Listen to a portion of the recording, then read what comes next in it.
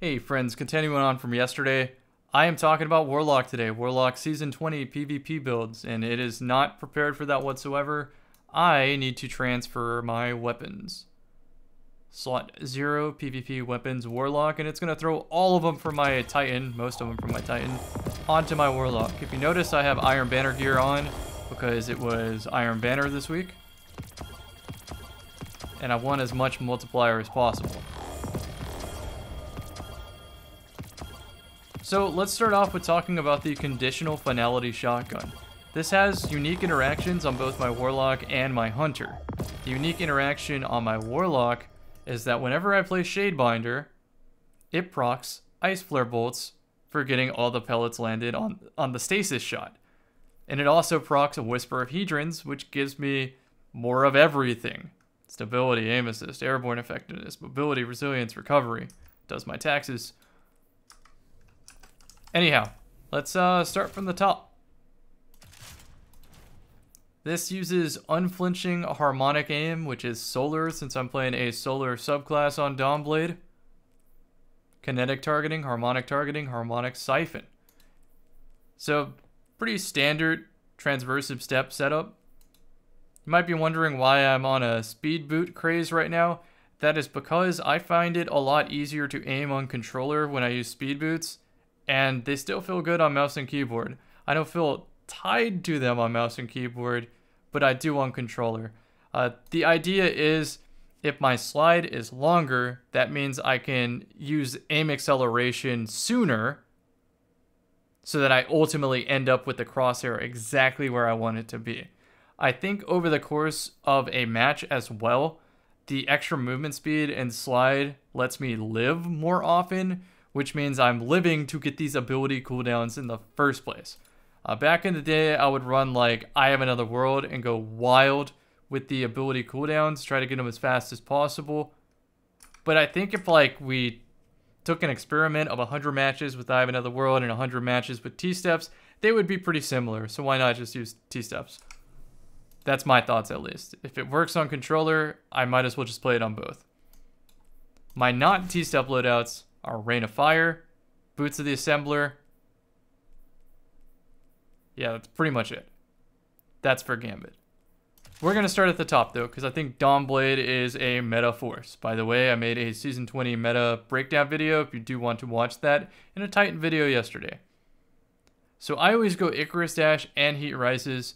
I'm on Healing Nade this season because Fire Bolts are a little too powerful, and I want to get a sense of how this class works at base, and I'll switch to Fire Bolts if I need to in a sweaty enough match. Healing Nade's still really good though, even for Heat Rises. It does heal you when you consume it. So yeah, I want to be building into using Heat Rises as often as possible. I have Ember of Ashes for more Scorch. Searing, defeating a Scorch target gets melee energy, which Heat Rises already innately does just for jumping in the air and getting a kill. If I get a melee tag, I am Radiant as well as my allies. If I revive, I get Restoration.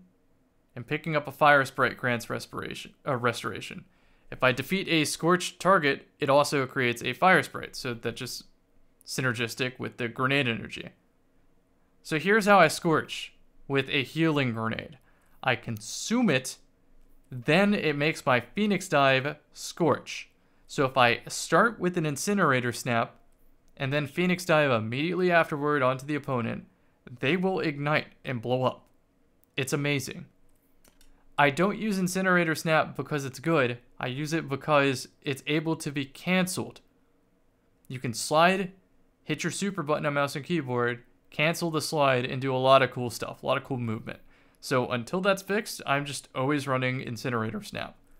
As far as the supers go, I can really run either with tier 7 intellect I don't think I build into Dynamo on my Warlock, even though I am using Phoenix Dive close more often than not.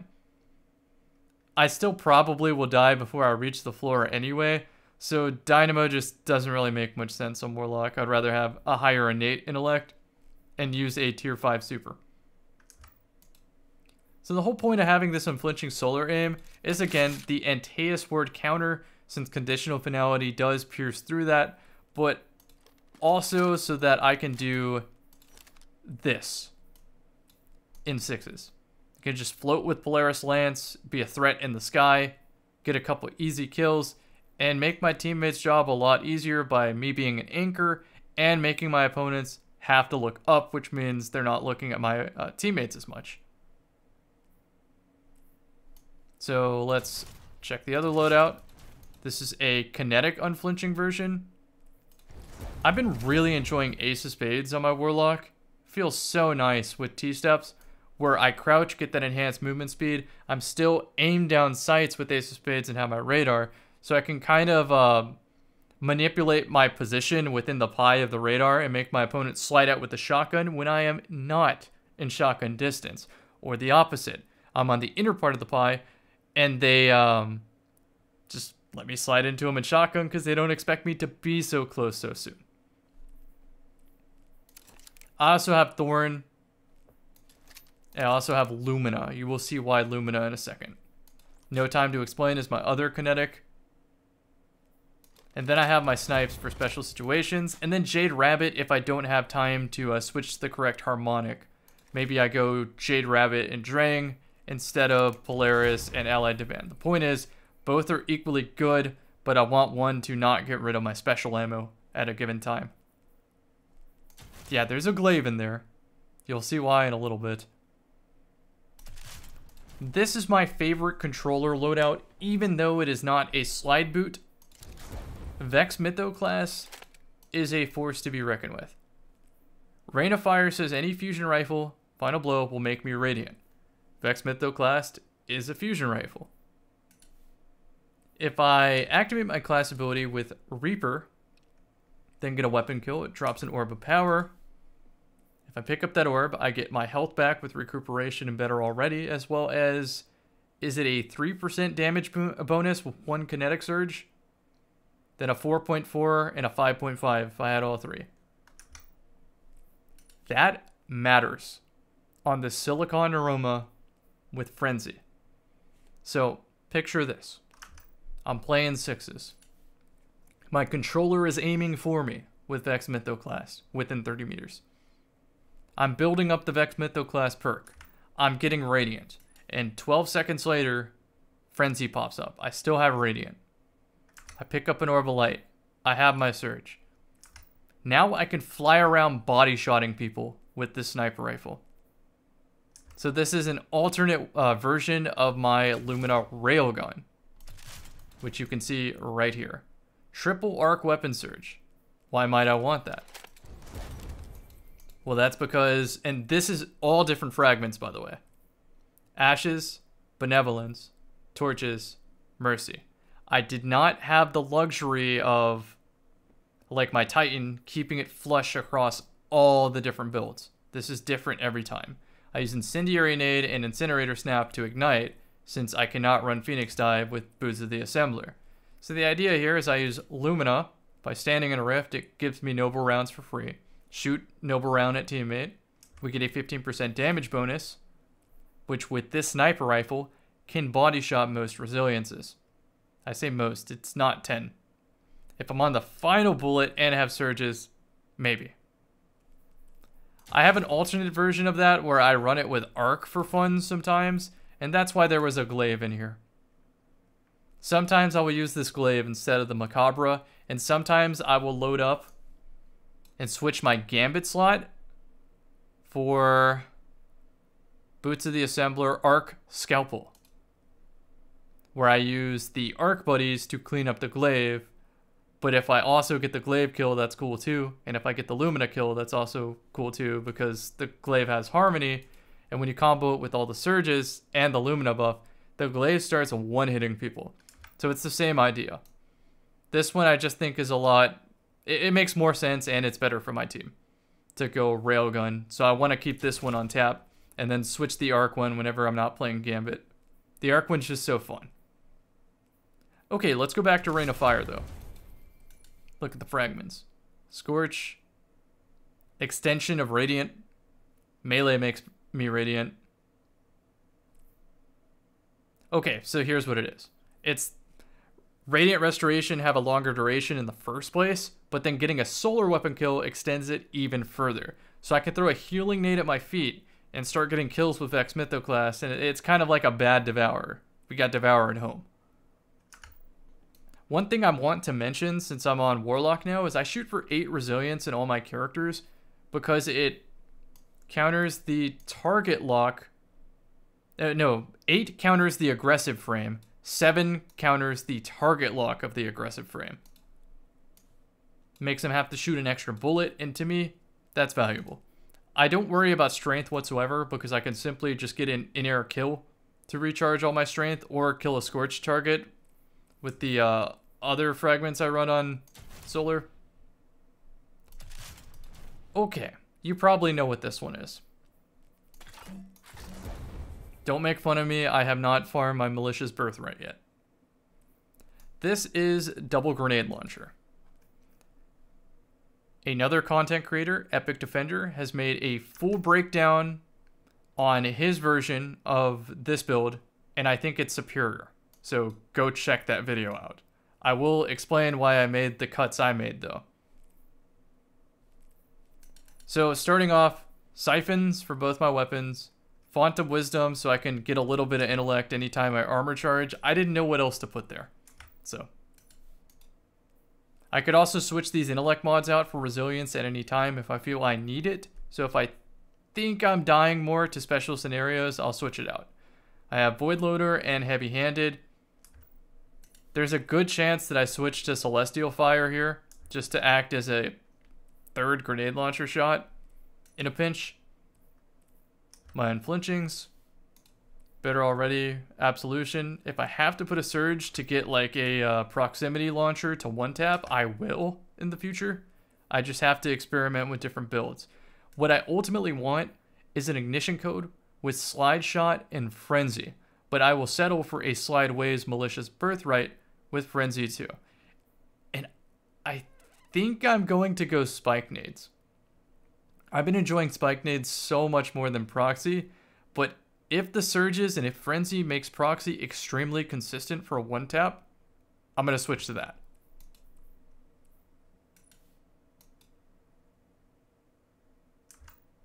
I guess I had Artifice uh, room to spare on this build. I'll show you my Gambit build at the end. Okay, this is where it starts heating up. This is possibly one of the most min-max builds in Destiny 2.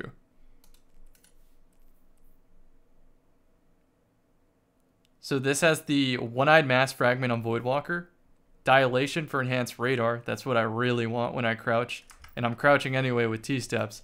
Yes, they both give faster uh, sneak speed, but I don't think they stack. All I want is the radar though. Leeching so I get my health back whenever I melee, and this does come up in games a lot. And then pick up orb, get devour. You might be wondering like, well, why would I do that? I can already get Devour by just getting an ability kill. But the thing is, ability kills aren't as frequent as you think, so being able to just throw a Rift, Reaper, get a weapon kill, and then pick up an orb that could be from my teammate, and then use that Devour to win a potential 1v3, it comes up way more than you think. So the combination of One-Eyed Mask Fragment plus Devour plus Devour you're going to be winning a lot of 1vx situations. So I don't really know what to run for the dexterity. This is mostly a placeholder. I switched everything to solar once again to counter Antaeus coming out in the future and just keep this flush between my three characters. Also, Drang, very, very good on controller. And Borrowed Time, surprisingly, really good on Warlock. Even with T-steps, I melee a lot. If I ever run borrowed time, you always run a single solar weapon surge to tip it to the next time to kill.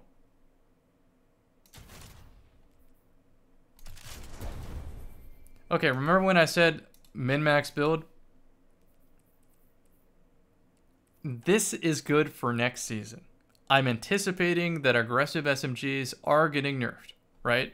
So 6 resilience, we know that makes, I believe, precision or aggressive frames, one of them, have to have extra pellets. So 6 was good in the past.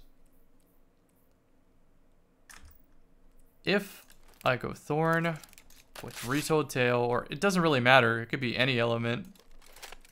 Let's just do a Thousand Yard Stare. Instead of doing harmonic targeting, we're going to use the seasonal mod for void targeting. And now you see I have an extra slot right here. This switches to resilience. Now, a mortal target lock has to shoot another bullet, which matters because vigilance, starvation, devour, devour, reaper getting my health back. If I live to fight another day, that's bad news for my opponents. Because if I pick up that orb, triple kinetic surge, on Thorn or Ace of Spades. Now, before anybody's mad at me for talking about Thorn, if you see a Thorn user, throw on Tarrabah. Thorn builds Tarrabah up really quickly. When I see Tarrabah on the enemy team, I immediately switch to Ace. It's part of the reason it's in my inventory.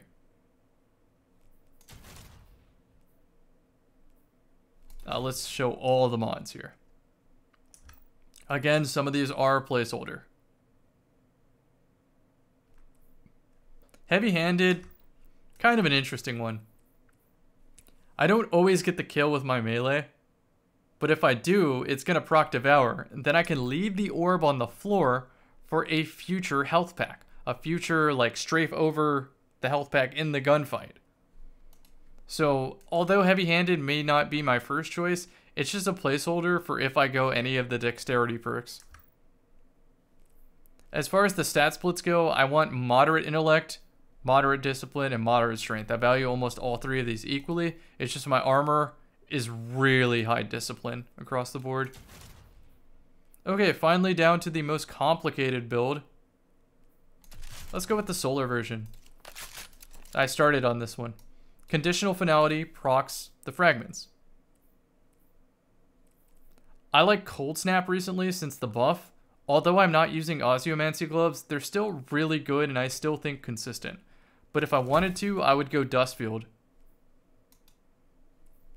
If I really had to against Barricade Titans.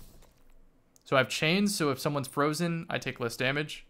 Hedrons to boost all the stats. Conduction for stats. And Bonds. Defeating frozen targets grants you super energy.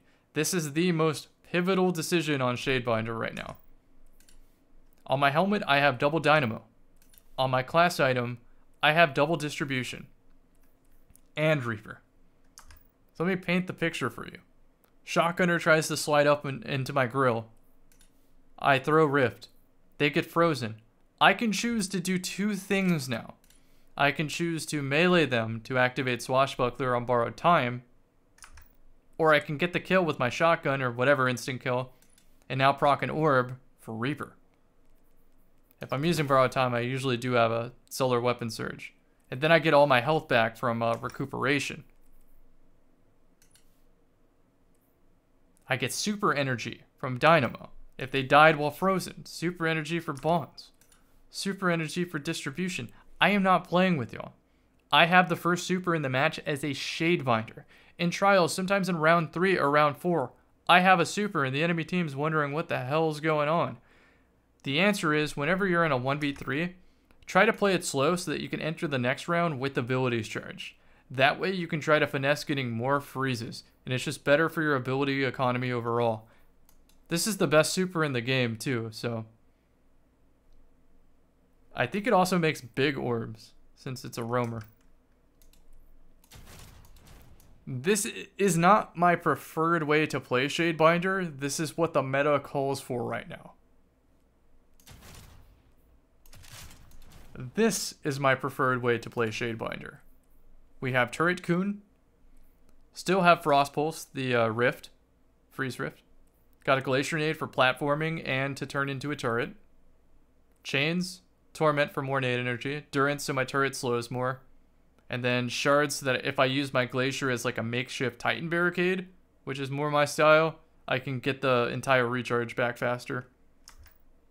So I'm probably never getting a super with this in trials, but if you know some really dirty turret spots, which I do have my crowd pleaser here for grenade lineups, you can win rounds.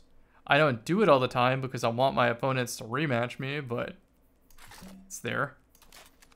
Still have, uh, I did not mention this Reed's Regret for the Vex Mythoclast build. This one's really good. You can proc a Adagio off the kill, and you don't even need Radiant to be able to body shot kill. So if I want to get a faster charge rate, I can go with Enhanced Battery. Then, on the Lumina build, since it has liquid coils, Lumina can make this body shot certain resiliences before Adagio.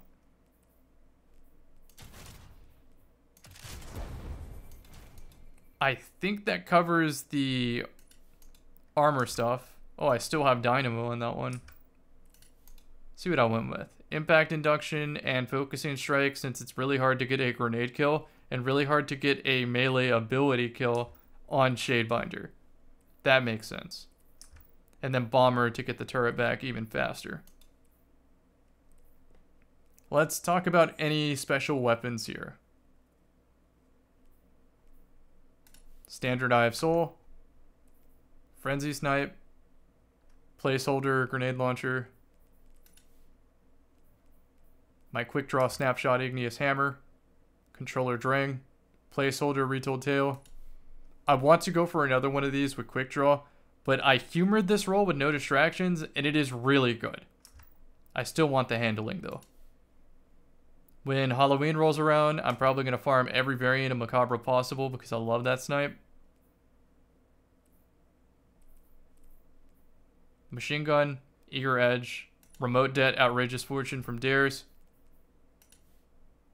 Skulking Wolf, Machine Gun, Iron Banner, Unobtainable Info Stick, Salvation's Grip for stupid stasis stuff, Black Talon because it's the best pull in threes, and Wardcliff Coil because it's an M&K monster. I think that covers this build crafting section. If you care about gambits, typically I will throw a Izanagi's Burden. Let's see. And a Without Remorse shotgun with Incandescent. So you've probably seen this on any other uh, YouTube recommended video talking about Sunbracers. But essentially, I use a melee, throw a grenade, and they both give each other more grenade and more melee. So you start throwing Sunbracer grenades before the ad spawn in Gambit, and everything's already dead. So since I am so efficient with ad clear, I put all the mods into getting as much special ammo as possible, so I can use Izanagi's Burden to invade if nobody invades, or to kill the invader. Then I just use Eager Edge to move around the map. Pretty simple. I also use Dawnblade sometimes, like the Daybreak Super, just to clean up um, blockers. Pretty standard strategy, and I will live comment at some point. But this has been a standard Gambit loadout for years at this point. It's just especially good with the new fragments and stuff like that. Okay, let's talk Broodweaver. I do have a Broodweaver build that pivots from this harmonic and then I change a mod and then it has very similar stat splits. This is the setup I went for. I went for the Threadling Bomb setup where you consume the nade, wait for it to be almost charged, then you approach your opponent and throw down your Rift, and then it throws out all of the Threadlings at once. And then if I use like Round Robin, my final blows create a Threadling, which is really nice. However, with all that being said, it's working way too hard when I could just be playing Shadebinder. Hope you enjoyed this one, friends. I will see you in the next one.